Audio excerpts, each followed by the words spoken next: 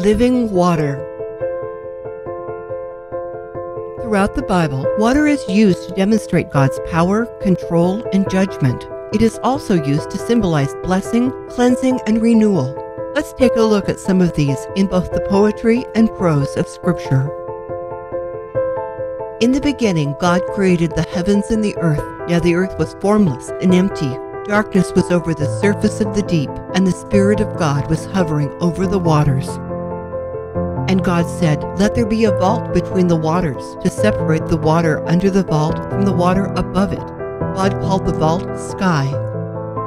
Then God said, Let the water under the sky be gathered into one place, and let dry ground appear. God called the dry ground land, and the gathered waters he called seas. And God saw that it was good. God said, Let the water teem with living creatures.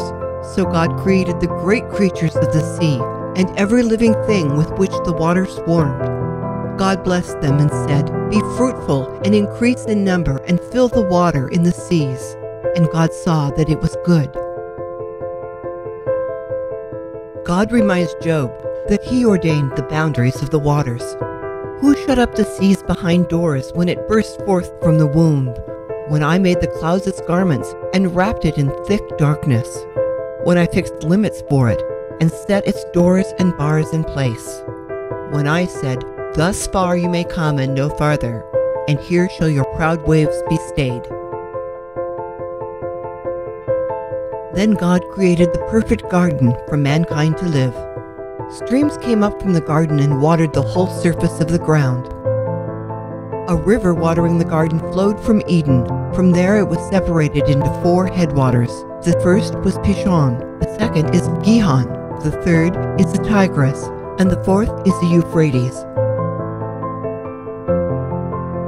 But mankind chose not to listen to God and became so wicked that God decided to destroy them all, all except Noah, his family, and the pairs of animals that came to him. After building the ark, gathering the food and the animals, Noah closed the ark's door. For forty days the flood kept coming on the earth, and as the waters increased, they lifted the ark high above the earth. The waters rose and covered all of the highest mountains by more than 20 feet. That would be 17,000 feet above sea level. Then, after 150 days, or five months, God sent a wind, or spirit, over the earth, and the waters receded. Now the springs of the deep and the floodgates of the heavens had been closed, and the rain had stopped falling from the sky. The water receded steadily from the earth.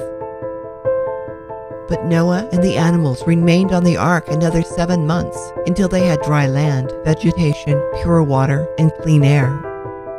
Then God said to Noah, I have set my rainbow in the clouds, and it will be a sign of a covenant between me and the earth. Never again will all the waters become a flood to destroy all living creatures of every kind on the earth.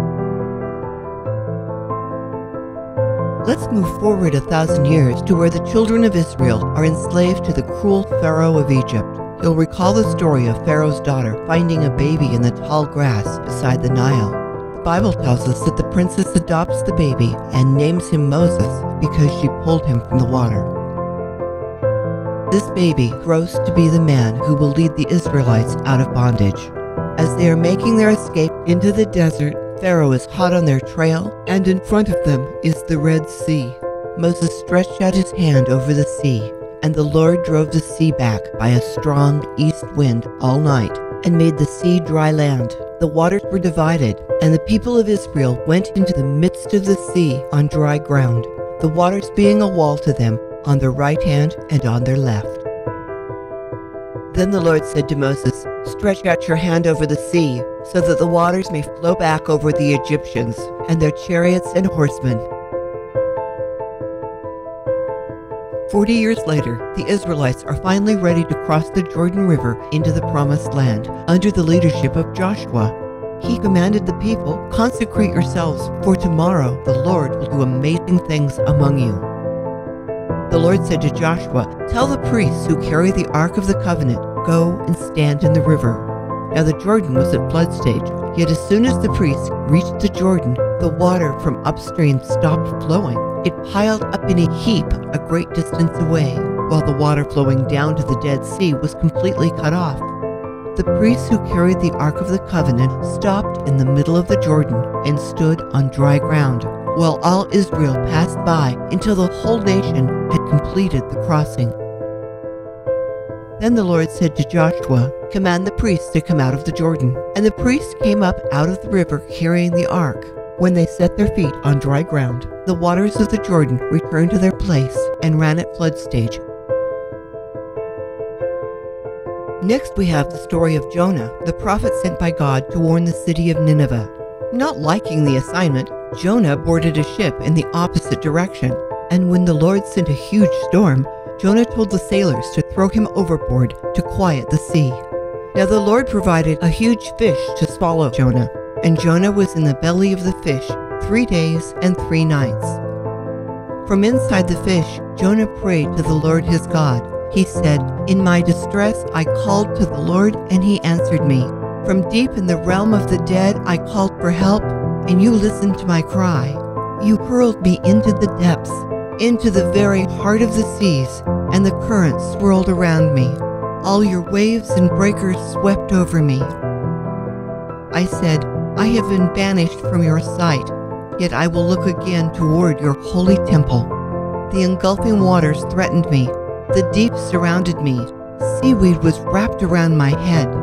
To the roots of the mountains I sank down. The earth beneath barred me in forever. But you, Lord my God, brought my life up from the pit. When my life was ebbing away, I remembered you, Lord, and my prayer rose to you, to your holy temple. Those who cling to worthless idols turn away from God's love for them. But I, with shouts of grateful praise, will sacrifice to you. What I have vowed, I will make good. I will say, Salvation comes from the Lord. And the Lord commanded the fish to vomit Jonah onto the dry land. The Psalms proclaim God's might and power over the waters of the earth while providing sustenance to mankind. The earth is the Lord's and everything in it, the world and all who live in it, for he founded it on the seas and established it on the waters. The righteous person is like a tree planted by streams of water, which yields its fruit in season, and whose leaf does not wither. Whatever they do prospers. The voice of the Lord is over the waters. The God of glory thunders. The Lord thunders over mighty waters. He gathers the waters of the sea into jars. He puts the deep into storehouses. Deep calls to deep in the roar of your waterfalls. All of your waves and breakers have swept over me. God is our refuge and our strength, an ever present help in trouble. Therefore we will not fear, though the earth give way and the mountains fall into the heart of the sea, though its waters roar and foam, and the mountains quake with their surging. There is a river whose streams make glad the city of God, the holy place where the Most High dwells. You care for the land and water it, you enrich it abundantly. The streams of God are filled with water to provide the people with grain, for so you have ordained it. Mightier than the thunder of the great waters, mightier than the breakers of the sea, the Lord on high is mighty. There is the sea, vast and spacious, teeming with creatures beyond number, living things both large and small. There the ships go to and fro, and Leviathan, which you formed to frolic there. All four Gospels report the baptism of Jesus by his cousin John. This is from the book of Mark. John the Baptist appeared in the wilderness, preaching a baptism of repentance for the forgiveness of sins. All the people went out to him, confessing their sins. They were baptized by him in the Jordan River.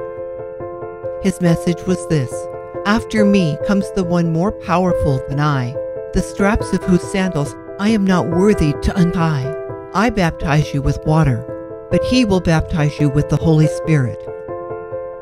At that time, Jesus came from Nazareth in Galilee to be baptized by John in the Jordan. As he was coming up out of the water, he saw heaven open, and the Spirit descending on him like a dove. And a voice came from heaven You are my Son, whom I love. With you I am well pleased. Jesus baptized the disciples and taught them to do the same.